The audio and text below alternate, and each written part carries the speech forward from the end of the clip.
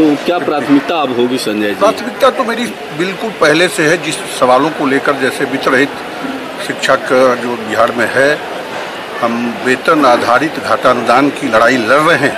छः वर्षों से बड़ी ईमानदारी से, मुस्तैदी से, सदन में हम इस सवाल को आगे बढ़ाया है।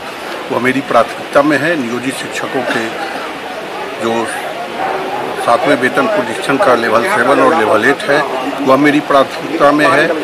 जो उनके सेवा सत्र नियमावली अभी आए हैं उसमें बहुत सारी कमियाँ हैं उसको दूर करना मेरी प्राथमिकता में है।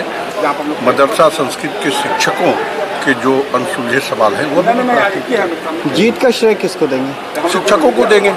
शिक्षकों ने मेरे छः साल के काम को स्वीकार किया है और इसीलिए इतने अंतर से मेरी जीत को शिक्षक ने सुनिश्चित किया है। इसलिए ये सारा श्रेय शिक्षकों को।